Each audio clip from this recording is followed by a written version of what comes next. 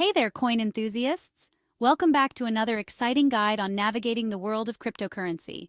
Today, we're diving into the process of sending XRP from your Coinbase wallet. If you've been wondering how to do this, you're in the right place. Awesome! Let's get started and make this as simple as possible. First things first, open up your Coinbase Wallet mobile app. Got it? Cool. This is your gateway to managing your crypto assets. Next, tap that shiny Send button right at the bottom. Easy, right?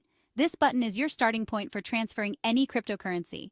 Now here's where it gets fun. You're about to send some XRP. Enter the amount of XRP you want to send. Be precise. Double check the amount to ensure you're sending exactly what you intend to.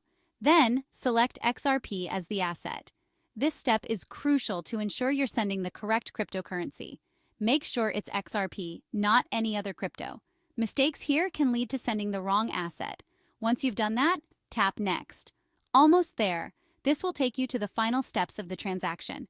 Now, you have two options. You can either scan the QR code of the recipient's wallet address or manually enter the exact address. Scanning the QR code is often quicker and reduces the risk of errors. If you choose to enter the address manually, be super careful here.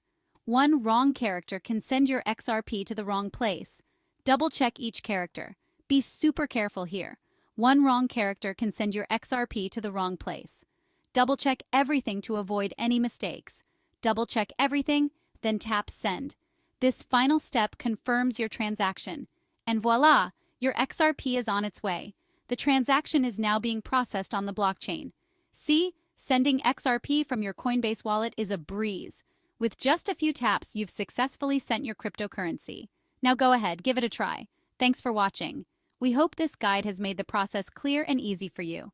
Don't forget to like, subscribe, and tap the bell for more crypto tips. Your support helps us create more helpful content.